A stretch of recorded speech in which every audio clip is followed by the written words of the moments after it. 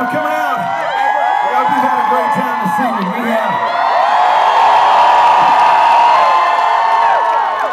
We're going to end this show the same way we end every one of our shows. We're going to send this last song out to every man, every woman, and every family that serves our country every day. God bless you.